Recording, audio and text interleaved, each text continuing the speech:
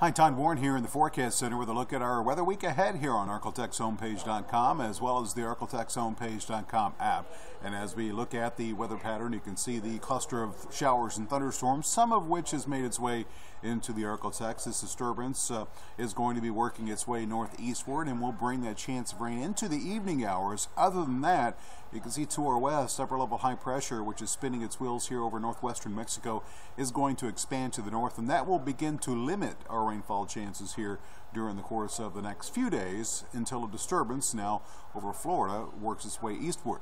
In the meantime, tonight with the rainfall ending, we will see lows for the most part in the low 70s across the Arklatex. That includes 70 in Texarkana, 71 in Shreveport, 72 degrees in Natchitoches. Daytime highs tomorrow We'll be closer to normal as we'll top out in the upper 80s to low 90s. That includes 89 degrees in Shreveport, 91 in, Nac in Natchitoches, and 87 degrees for the high temperature tomorrow in Texarkana. Not much of anything to worry about as far as severe weather risk for tomorrow as, uh, again, our rain that we have out there right now will come to an end as we look at our Observative Futurecast.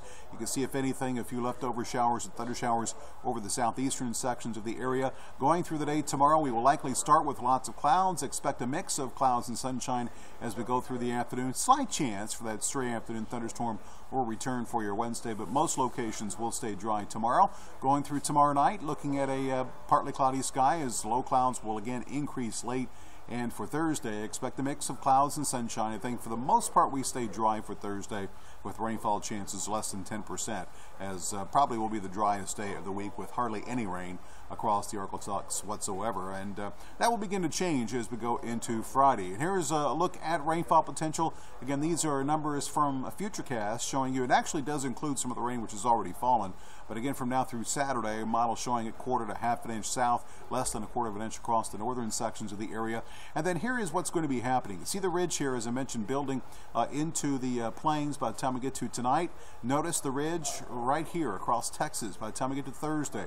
Another ridge off the coast of Florida in between, here's that disturbance, which is gradually going to work its way towards the west in the coming days. By Saturday, you can see getting closer to the Arklatex as it approaches. We'll see the return of that chance for the scattered thunderstorm. Uh, perhaps a low-end chance uh, Friday will begin to increase Saturday and Sunday, and you can see that disturbance moving across the area this weekend.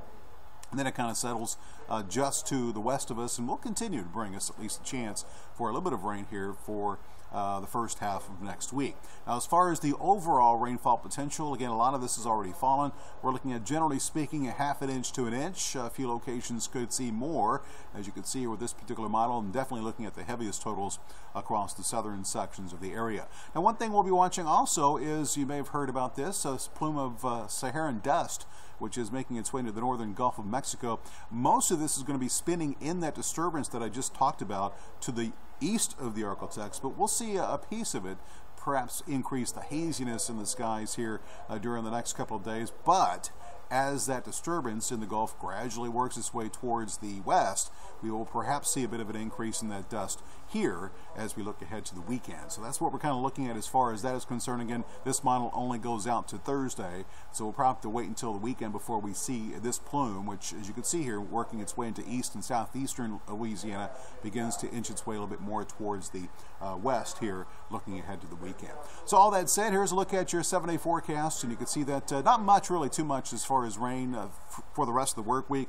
We'll see that chance of rain increase a bit for the weekend, uh, and then kind of low-end rain chances into the first of next week. Daytime highs pretty close to normal, mainly in the low 90s. Overnight lows also pretty close to normal, mainly in the low 70s. These are Shreveport numbers. Here are your Texarkana numbers for the week ahead.